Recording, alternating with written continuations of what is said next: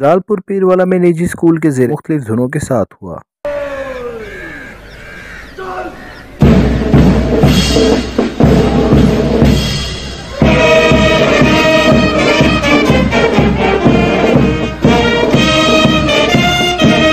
Sports गाला में school के तलबा व तलबात ने दौड़ रस्सा कशी समेत मुख्तलिफ़ खेलों में अपने फ़न का मुजाहरा किया और स्पोर्ट्स गाला को खूब इंजॉय किया।